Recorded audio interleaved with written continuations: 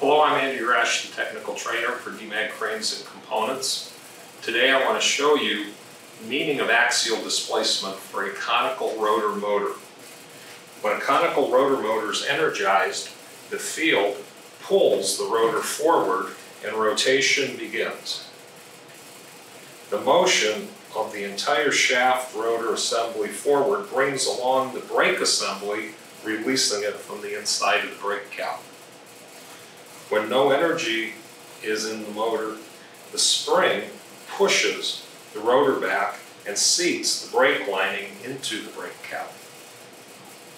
To measure your axial displacement and brake wear, simply take a wrench on a small size motor, go through the center cap of the fan cover, and push with a blunt tip wrench against the shaft and get it to displace forward.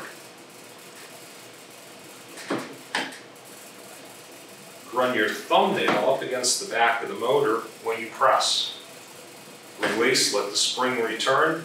The distance between your thumb and the back of the fan cover on the motor is your axial displacement, which is a measurement of your brake wear. Compare the value with published minimum and maximum axial displacements found in manuals.